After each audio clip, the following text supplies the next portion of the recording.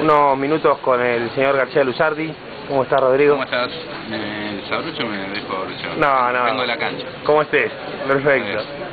Eh, referente de, siempre lo bueno, lo vemos en eventos deportivos, Sí, de sí. fútbol, Fútbol, fútbol de primera hora, fútbol para todos. y ahora cada vez te vemos más metido con el póker. Sí, sí, sí, por suerte, es lindo. Es, eh, es la mezcla de las dos pasiones, el fútbol y el póker, que de hecho me parece que tiene un montón de cosas en común el fútbol y el ¿Sí? póker. ¿Qué fue lo que más te interesó para ir metiéndote en el, en el, en el tema del póker y, empezar a trabajar con No, básicamente me gusta el juego. Sí. Básicamente me gusta, me gusta el juego, pero con el paso de los años, ahora cuatro años que juego de manera amateur, con amigos que me invitaban a un lugar, a otro, y le empecé a encontrar la beta de periodismo de póker, que había muy poco, Sí, y, y me parece que, que- que es por donde voy y a donde apunto, ¿no? Relato de póker, ahora estás, comentario. estás trabajando en Poker Sport.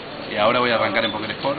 Estuve haciendo Poker a full, transmitiendo los torneos de, de Madero el año pasado, Sí. poniendo audios de, de diferentes torneos eh, y, y relatando, digamos, póker, que es mi gran pasión. Más allá de jugarlo, la gran pasión es relatarlo y, y ponerle ese eh, acento argentino, latinoamericano a- al póker que, que se está jugando ahora y, y en todo caso ponerle eh, el tinte futbolero a- al póker. Hay muchos jugadores que estamos viendo que se están acercando a las mesas acá de, bueno, tanto Madero Póker como Rosario. Eh, estamos viendo cada vez más más jugadores de fútbol metiéndose en el, en el póker. Sí, ¿Qué sí. opinas de eso? Eh, sí, que, que se han apasionado, que en los planteles, la gente grande sobre todo, ha reemplazado la PlayStation o el truco por el póker. ¿eh? Porque da para eso, porque da para la reunión social, porque da para pasar las horas de concentración, por ejemplo. Y, conozco varios planteles. Se conoció lo de San Lorenzo, pero conozco varios planteles. Lo de San Lorenzo, el problema de San Lorenzo fue con el Burrito Rivero, cuando Sí, sí, Díaz como sí, técnico, que eh, gritaban mucho y jugaban hasta muy tarde. El problema no era que jugaban o cuánto jugaban, que de hecho jugaban bastante. La mayoría de los planteles juegan. Lo que pasa es que lo hacen hasta determinado horario, sobre todo si es día de partida y están concentrados. ¿no? Hasta determinado horario y con determinado límite y sin gritar, ¿no? porque es mucho más fácil, pero conozco varios.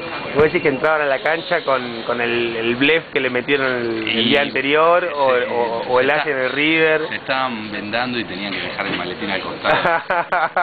Pero sí, eh, si le aflojaban un poco, digamos, si lo disimulaban un poquito más, me parece, porque además eso le hizo, le hizo mal porque, digamos, el, el póker tardó mucho, mucho tiempo en eh, sacarle muchos mitos, ¿no? Verlo como un algo oscuro. Exacto, exacto. Se están en la transformación Yo creo que ya cambió eso, ¿no? Ese concepto Bueno, de la gente. Exactamente, me parece que todavía está cambiando y esas cosas no ayudan. Que se vea eh, de esa forma no ayuda porque se, se ve que es sano, se ve que es un deporte, se ve que hay que estudiar, que hay que llevar vida sana. Eso lo sabemos, los que jugamos al póker lo sabemos, pero este, el que no juega todavía lo sigue viendo como algo medio raro y no es raro para nada. Entonces hay que contarle al resto de la gente que el póker está bueno, que es competitivo, que es sano ¿eh? y que se pueden aprender un montón de cosas eh, más allá de que se juegue con cartas.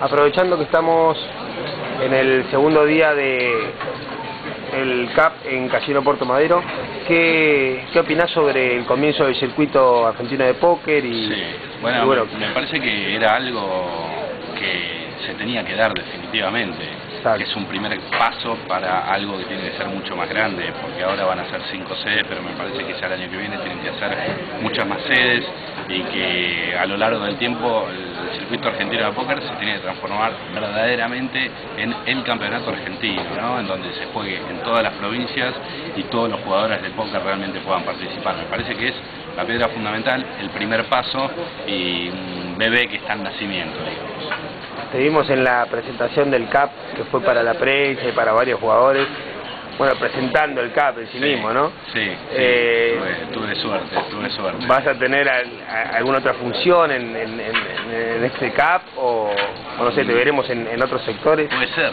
puede ser. eh, este, No se puede lo velar estamos- nada. Lo estamos resolviendo. No se puede velar nada, pero ojalá que sí, sin duda, porque eh, al no poder jugar y al hacer periodismo de esto, eh, me gusta participar y me gusta poder hacer muchas cosas. Bueno, realmente te deseamos lo mejor en tu carrera, Rodrigo, y bueno, estaremos pendientes de, de tus nuevos emprendimientos. Gracias Freddy, a vos, a toda la gente de Poker 10 Argentina, porque nos conocemos hace mucho tiempo, hace muchos años, eh, y, me parece que todos coincidimos en esta gran pasión que, que es el póker, así que gracias a todos. Exacto, bueno, muchas gracias. ¿eh?